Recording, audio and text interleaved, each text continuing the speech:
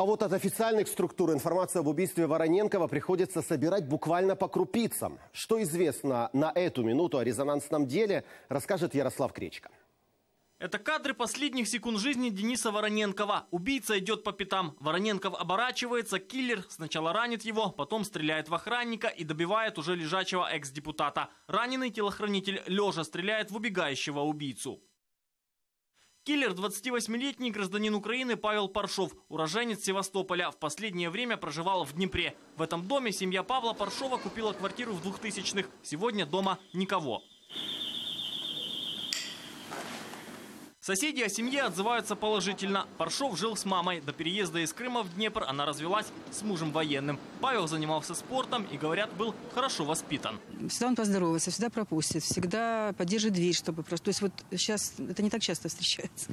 Он дома все время родителям помогал. С дедом тут ремонт делал. Я еще удивился, что мастеровой парень. Впрочем, днепровские правоохранители знают Паршова с другой стороны. В 2011-м его обвинили в финансовых махинациях. Он числился в розыске на сайте МВД. Был в розыске. Все. Если надо будет, я конкретно к этому, по этому материалу вам все расскажу. А надо дещо пізніше. Надо. Чуть-чуть попозднее. Дещо Я не хочу навредить киевским коллегам. В 2015-м Паршов записался в Нацгвардию Украины. В батальоне «Донбасс» прослужил чуть более года. Затем без оружия самовольно покинул расположение своей роты и был уволен. Він проходив службу в підрозділі Національної гвардії України. Це е, спец, батальйон спецпризначення Донбас. У 2015 році вони були е, в складі військової частини 3057 міста Маріуполь. батальон перестал воевать, был в учебной роте. Потом ходил, ныл, чтобы его уволили. Убежал, его уволили по невыполнению контрактов.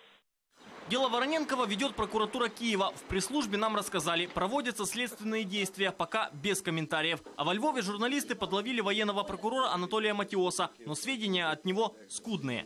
Працює дуже інтенсивно е, велика група оперативників, е, служби безпеки, е, Нацполіції, слідчих. Новини є. Я не маю права про них говорити. Знаю е, тих оперативних працівників, які займаються розшуком е, співучасників. Всі чули про автомобіль, який від'їхав. Досить багато вже зроблено. Дуже багато.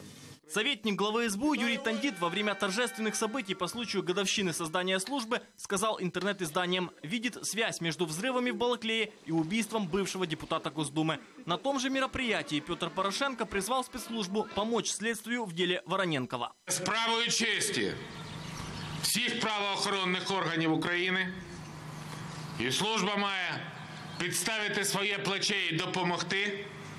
Є і розкриття вбивства вчорашнього, коли біля прем'єр-палацу був вбит колишній депутат Держдуми Росії, головний свідок по справі Януковича.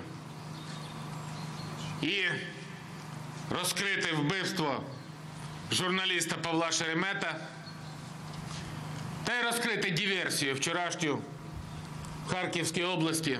Что касается охранника Вороненкова, то он находится в столичном военном госпитале. Состояние тяжелое. Загроза пацієнту перших 3-4 доби після операційної завжди. У нас є, ми не можемо сказати, що загрози пацієнту життю пацієнта немає, що хворий знаходиться в медикаментозному смерті. Ми являємося закладом Міністерства оборони України. З початком дій 2014 року наш заклад практично завжди круглодобово охороняється. Це поза залежності того, який пацієнт тут знаходиться. По данным одного из интернет-изданий, у Павла Паршова остались жена и ребенок. Они проживают в России. Бывшего депутата Госдумы Дениса Вороненкова похоронят в Киеве. Ярослав Гречко, Галина Якушка, Елена Миндалюк, Евгений Кодинцов. Подробности телеканал Интер.